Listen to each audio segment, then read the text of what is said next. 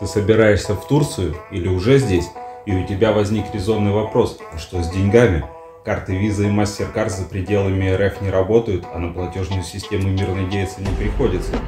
Привет, ты на канале Turkey Space, меня зовут Владимир. Я Олеся, и сегодня мы вам расскажем про деньги. Погнали!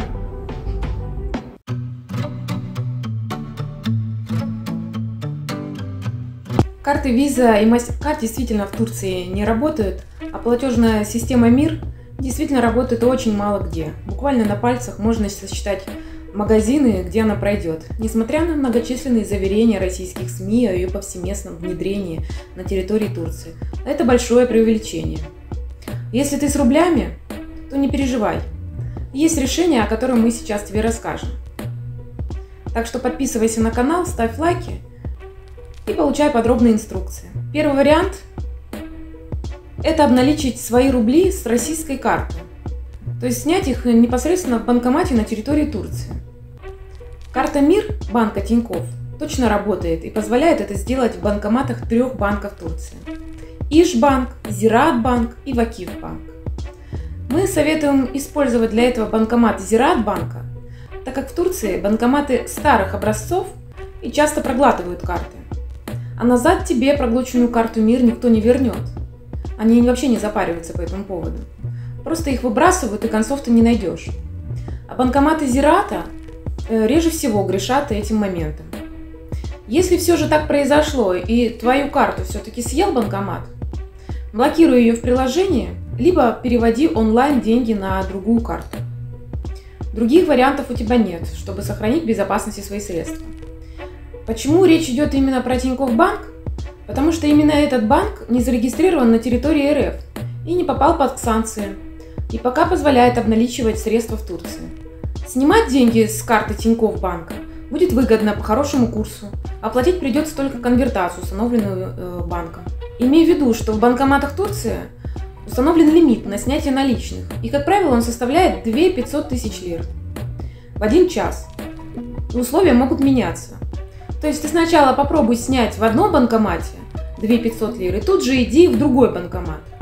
Если тебе второй банкомат уже не выдает 2 500 лир, значит э, следует ждать следующего дня и опять пробовать занимать деньги. Если у тебя есть карта банка Райфайзен, то с нее тоже можешь попробовать обналичить деньги. У некоторых получалось. Остальные российские банки не дают этого сделать. До июня месяца текущего года карты Сбера с легкостью проходили и позволяли обналичивать деньги даже в банке Денис. Но после расширения санкционного пакета в отношении Сбера эта возможность утрачена. При нас не один человек пытался, э, но все потерпели неудачу. Мы также попытались обналичить э, деньги с карты Сбера в июне месяце. И каждый раз соединение со Сбером не было установлено. Второй вариант через систему переводов «Золотая корона». Скачай приложение, сделай себе аккаунт по предлагаемой там инструкции. И можешь отправлять деньги. Деньги можно отправлять в долларах, а получать здесь их в местной валюте согласно текущему курсу на момент получения. Чтобы перевести деньги себе, нужен турецкий номер. Э, в этой системе работают платежные системы МИР, Visa, MasterCard, э, комиссии также нету. Отключай функцию получения смс об осуществленных транзакциях в приложении, стоимость которого составляет 99 рублей. Э, Все, что нужно будет оплатить, это сумма конвертации, которая устанавливается российским банком. Курс через золотую корону довольно-таки выгодный. И опять же, Сбер больше не позволяет это сделать, так как не присылает одноразовый код из-за отключения свифта. Э, пункт выдачи найдешь там же в приложении с указанием адресов. Э, чтобы получить наличные, необходим просто паспорт и турецкий номер. Перевод приходит тут же. Ждать, э, пока придут деньги, не нужно. Перевел и сразу же иди получай наличку. По золотой короне еще можно добавить, что есть такой момент, связанный с менталитетом местных жителей. Если ты установишь контакт э, с сотрудником пункта выдачи денег, обменяешься с ним телефонами, то э, возможен такой вариант, что ты будешь э, получать перевод не в лирах, а в долларах или евро, что тебе удобнее. То есть ты сможешь написать, есть у тебя там доллары, он тебе напишет, типа, есть, ты пишешь, окей, сейчас приду переводишь все деньги, идешь и получаешь. Ну так. Мы не раз таким уже пользовались.